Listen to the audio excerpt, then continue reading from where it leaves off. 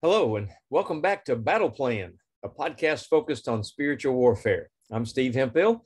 Website is active-faith.org, and my email is stevehemphill1 at me.com. In our last episode, we talked about uh, prayers to start each new day, things to pray for. Today, we're covering a house with a history of divorce. John 4, 16 to 19 is Jesus' interaction with the woman at the well. In the NLT version, he says, Go and get your husband, Jesus told her. I don't have a husband, the woman replied. Jesus said, You're right. You don't have a husband, for you've had five husbands, and you aren't even married to the man you're living with now. You certainly spoke the truth. Sir, the woman said, You must be a prophet.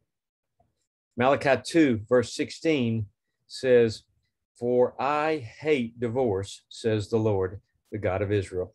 To divorce your wife is to overwhelm her with cruelty, says the Lord of heaven's armies. So guard your heart. Do not be unfaithful to your wife. So God hates divorce. Divorce brings cruelty, and we must guard our heart against it and remain faithful. I got a phone call one day from a uh, very conservative church leader in North Arkansas. And he said, Steve, I have a weird question for you. We uh, enjoyed when you came and gave your seminar on heaven. And I knew you were studying on spiritual warfare and writing a book on that. And I've got a strange question. My daughter just bought the house next door. Now, we live just on the outskirts of town. There are two acre lots here. It's a real pretty area. We're so excited to have our daughter living next door since I'm getting older and have some health issues now. However, the last three families who lived in that house got a divorce.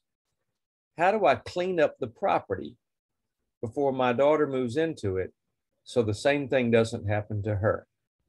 Now, I'd never um, had that question posed to me before, and this was shortly after this idea with the stakes and the verses on them came into being. So I kind of told him the whole story of what had been going on. And, and uh, when I finished, he said, Oh, I love that idea. He said, Send me three sets of stakes and I'll mail you a check.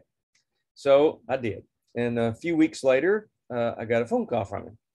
And he said, uh, Steve, I want to tell you what happened. He said, We got your stakes in on a Saturday, which was perfect because my daughter and her family were moving in the next day on Sunday.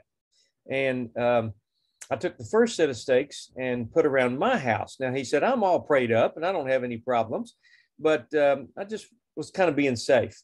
And then I took the next set of stakes and put on the four corners of the property around my daughter's home next door. And I said, well, What did you do with the third set? He said, Well, I, I put them around the four corners of her house. And I said, Okay, so you put two sets of stakes around the same house. He said, That's right. He said, you know, there's more than one level of defense there. Uh, I love my daughter. And I said, okay, I get that.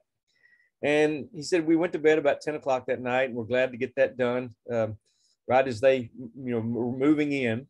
And about midnight, I woke up and it sounded like an NFL football player was running on the roof back and forth. Boom, boom, boom, boom, boom, boom, boom, boom, boom, boom, back and forth. It was a terrible noise. I grabbed and and got my shotgun. I threw some jeans on. I ran outside with my spotlight, went all the way around the house. There was nothing up there. I was really puzzled by this. And I looked around the house, didn't see anybody, went back inside. As soon as I set foot back in the door, it started up again. Boom, boom, boom, boom, boom, boom, boom, boom, boom, boom. And I knew what it was then. It was demonic. He said, I hit my knees and I prayed, Steve. I prayed for four hours. It went on for four and a half hours. He said three times it got so loud, I went back outside and looked again with my spotlight, had my shotgun. There was nothing you could see with human eyes. It, it ran on the roof, it beat on the walls. Sometimes the, the window shook. You could hear it scratching on the vent pipes that went up through the roof. He said, I, I prayed until about 4:30 a.m. and finally it stopped. And I went to bed exhausted. And I waited two weeks to call you to make sure it took. But he said, I guess whatever it was uh, that was that was in my daughter's new house had to leave there, and it was mad at me for making him move. So I'm really glad I staked out my own house. Now there's a there's a principle here I want to just point out to you if you hadn't already seen it. It's pretty obvious. if you're going to get involved in spiritual warfare, don't just help protect the people you love, protect yourself too. Even if you're all prayed up, even if you don't think you have any problems that need to be specifically addressed, God's word is powerful and it can protect you. And it can also protect you when you stir up the enemy as you're trying to protect your children and grandchildren and the other people you love. So, in light of today's thoughts, let me suggest part of your personal battle plan might be to stake and pray around the houses of all your children and their children and their spouses and pray against divorce. You can visit active-faith.org and donate to our ministry if you like. See you next time on Battle Plan. We're going to cover three-day migraines. Do not miss this episode, three-day migraines. And keep praying because prayer works. God loves you and I love you. Have a great day.